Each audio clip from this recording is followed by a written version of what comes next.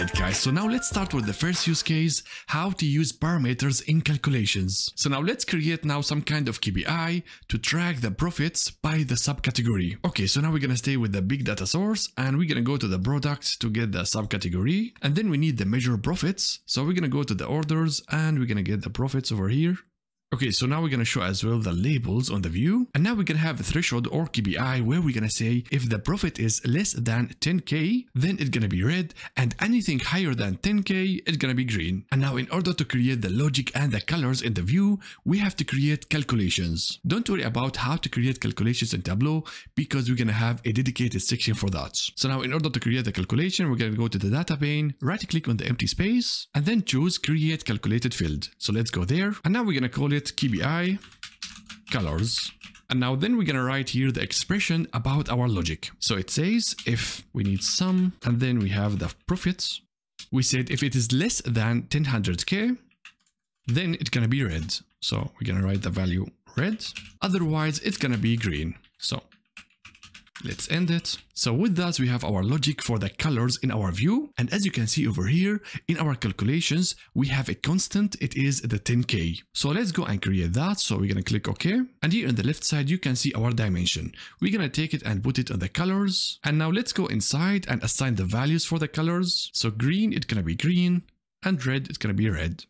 So let's click OK. So now we can go and give this report to the users and they can view it and interact with it. But now as you can see the calculations of the KPI is really static and they cannot customize it. In order now to give to the users the option of defining what is red and what is green, we have to use parameters. And now in order to create parameters in Tableau, there is two ways to do that. Either you go to the data pane and create your parameters or you create it in the place where you need it. For example, if you are creating a filter, so inside of the creation of the filter, we can create parameters. So now let's see first how we can create parameters in the data pane. So in the data panes, there is two ways to create parameters. Either you go to the empty space and right click on it, then you can see here, create parameter. Or the other option is that you go to the head of the data pane and you have here small arrow. So if you click on that, you're gonna see exactly the same drop down and here we have the option of creating parameter.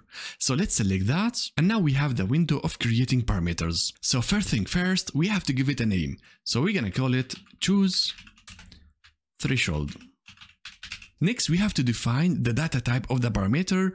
And if you go over here, you can see a list of all data types. But here you know all of them, but Tableau here decided to go with float and integer instead of number whole and number decimal. But they are exactly the same. So for now, we're gonna go with the integers. We don't want to have decimal numbers in the KPI. And then once you do that, we can define the display format. And here for each data type, there are different formats to represent the values. So as you can see, we have automatic, number standards, percentage, currency, customized. I'm gonna stay with the automatic. And then in the next one, you have to define the default value that's going to be show up in the input. So here I would say it's going to be the 10,000. And of course, the users can change that. Then after that, you have different options to limit what the users can select. So the default option here is all. That means you are allowing the users to enter any value. But of course, we limited the data type to integers. That means the users cannot go and enter any characters in the input field. Or you define for the user a list of allowed values. So here you can go and allow, for example, five different values, maybe to make sure that nothing goes wrong in the view. So here you are making the parameter more restrictive.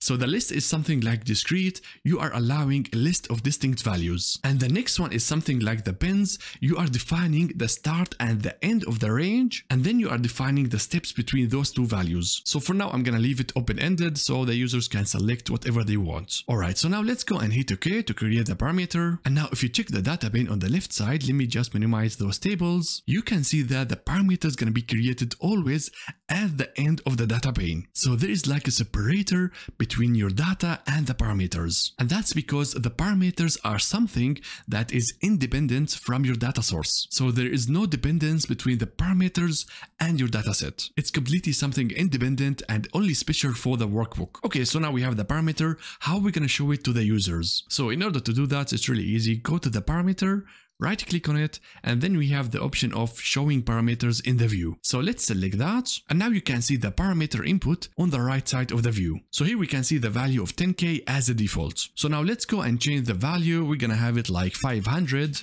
you can see nothing changed in our view. So does it matter what you are giving here?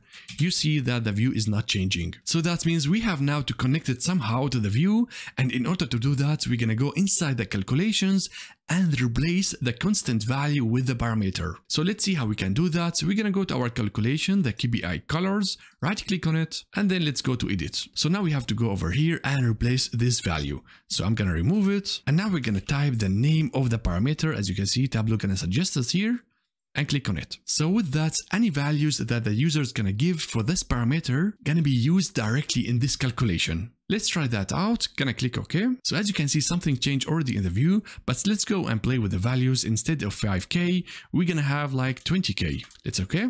And with that, I just changed the threshold for this KPI. So now anything below 20k gonna be red, anything higher gonna be green. Let's have another value like 50k. And now as you can see, the threshold is really high. We have only two values with green. And as you can see, it's very dynamic and you give the users the power of defining and customizing the KPI as they want. And with that, you're gonna cover a lot of requirements in only one view. I just love this feature in Tableau.